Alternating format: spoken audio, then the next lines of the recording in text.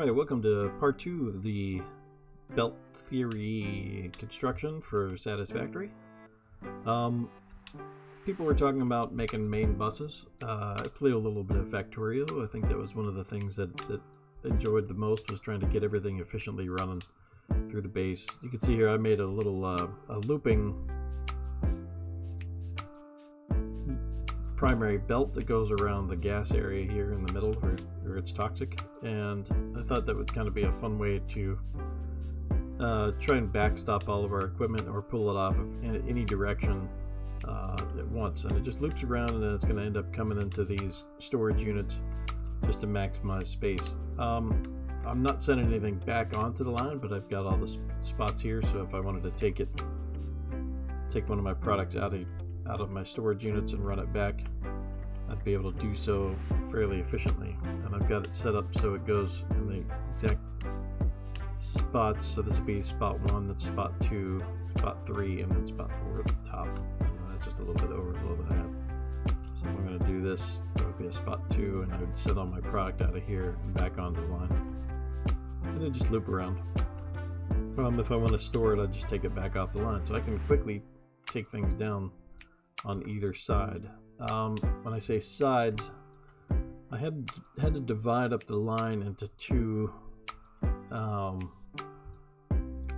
two sets of two, so it wouldn't be so high that you couldn't actually reach it, all the products, or lag everything out dramatically. Because when everything's moving, it gets pretty gets pretty busy around here. So here I've got my raw materials and more used stuff near the bottom uh, on this one set. I have it running evenly on both sides, but I'm able to go over here, loop it up over or underneath because I left the bottom two rungs open, and I'm I'm able to um, pull the product off or add it onto the line or remove it back off by, by shooting it over the top. Uh, it's a nice advantage to having it uh, an inside and outside track on this loop, um, and it just constantly fills up or, or will pull off as needed. Um, I think it works pretty well. I had to make, I started a second loop, I haven't finished it yet, but once I start getting into, on this server, getting into computer production, supercomputers, um, a lot more of my advanced materials will be on the outer loop, and I have it going all the way around uh, my iron set up over here, and then looping back around, and then it's going to be finished eventually and receive uh, back on the outside loop over here again. So I've got a double loop on the inside, a double loop on the outside, and I actually went on an Excel sheet and had to figure out where I wanted to place everything in my storage facility here in the middle. Nice thing about the storage facility is I'm right close to my uh, my hub. I can run over and grab any materials I want. Um, and an easy way to identify what I have is I'll just take a product and drop it outside of, of what the storage unit is so I can quickly run over and be like, oh, I need some more need some more iron ingots real quick, I'll just go ahead and grab those. Or I need, uh, let's say if I needed um, to identify this as concrete, here's my plates and my concrete bag. Um, it's easy to pick up and drop items, so if I want to take it, uh, let's say I've got 14 bags, so I can, if you right click your stack, you can split it. You can drag left or right uh, let's say I want to do a couple stacks of one here. I don't want to drop all my product at once, so I'm going to do three or four of these. And all you have to do to stack it is take it and just drag it off the side and it'll stack nice and evenly for you and nice and tall. So here I got four stacks just by setting them up, but I'm not wasting a hundred each. They're all just individual. It's easy to identify what the product is and you know you can really get into decorating with this. I think it's going to be awesome once i once i get around to it. Um so that's a unrelated to belts but a good decorating tip for later on and a good way to identify your stuff uh, while things are still moving around. Over here i did um wanted to show you a little bit more about how the advanced splitters work the smart splitters here I've got the left output going crude oil, the right output steel pipes and everything, in the center is going just passing through. So here I've got everything coming back around and merging through and just demonstrating a, a splitter and a merger. I've got lots of stuff here and then all that's coming out on the other side is the oil. And only a few things going through on the, on the straightaway.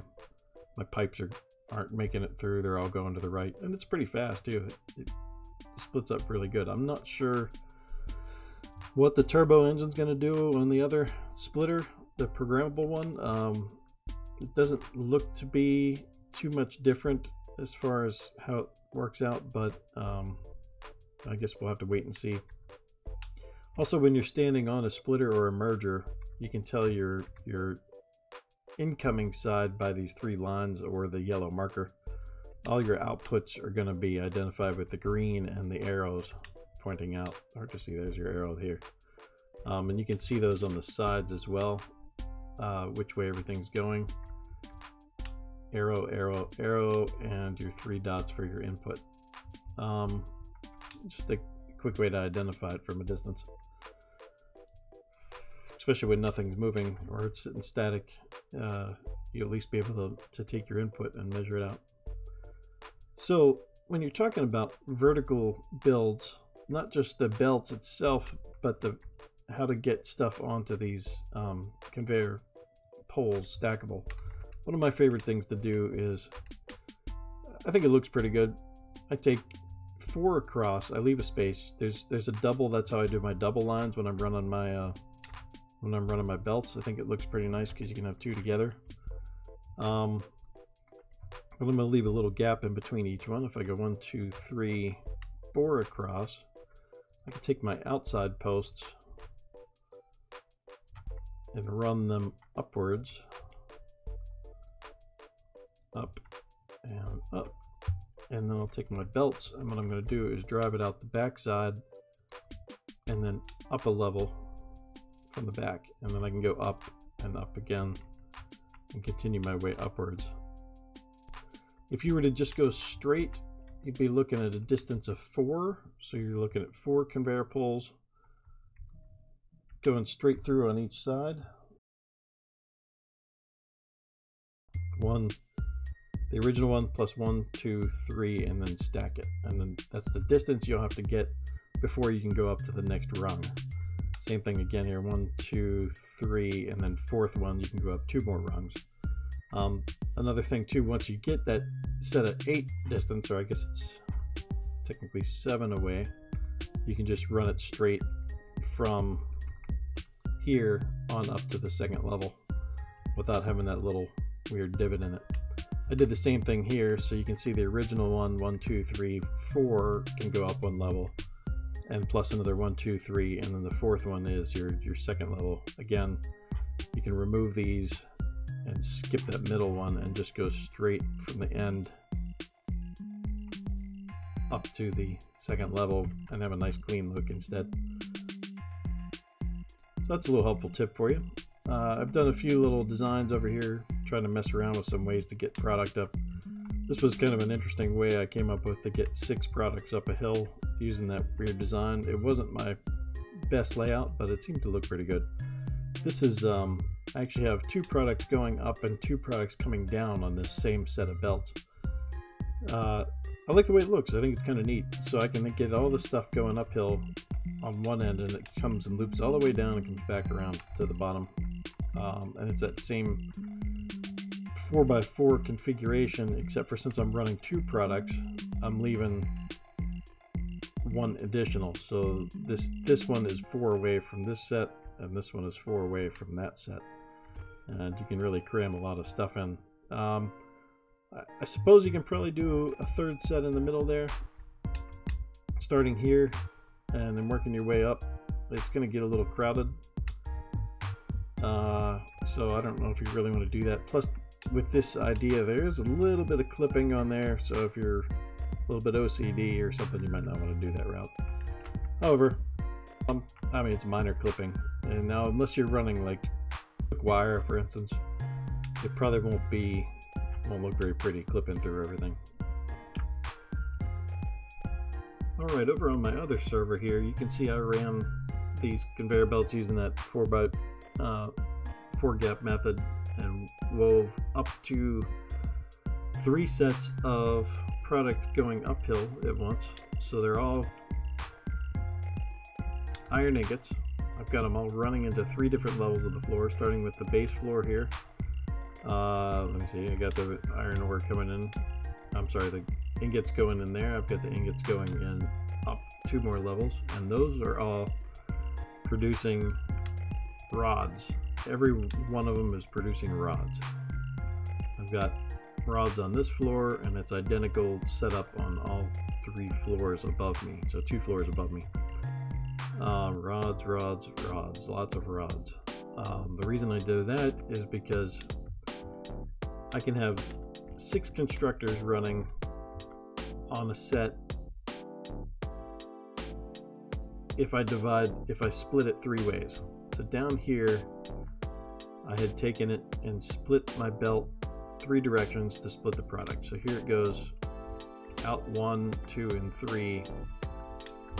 Uh, one goes down, one goes up to this set and winds around, and the other one goes up the second belt and winds around. Those go up to the next two floors.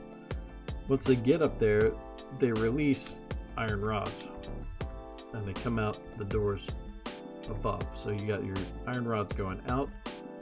They're continuing up the belt where the where the um, ingots left off and continuing upstairs to the next two floors above it. So the floors four and five are my screw production.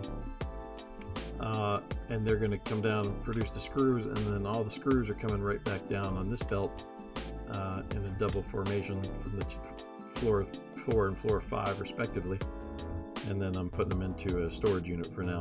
Um, haven't done much with them. I'm just grabbing them, but anyway, uh, hope you enjoyed part two of this series. I'm going to get a little bit more into building theory in the next episode, and you'll get to see uh, why this isn't the most efficient build that I've done. Now, um, it's kind of hard to talk about. I set it all up and had a really good setup, but most of that has to do with the way these are laid out.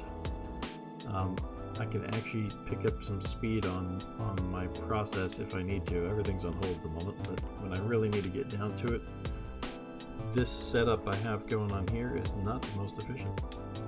And we'll look at that here um, in the next episode. Thanks for watching.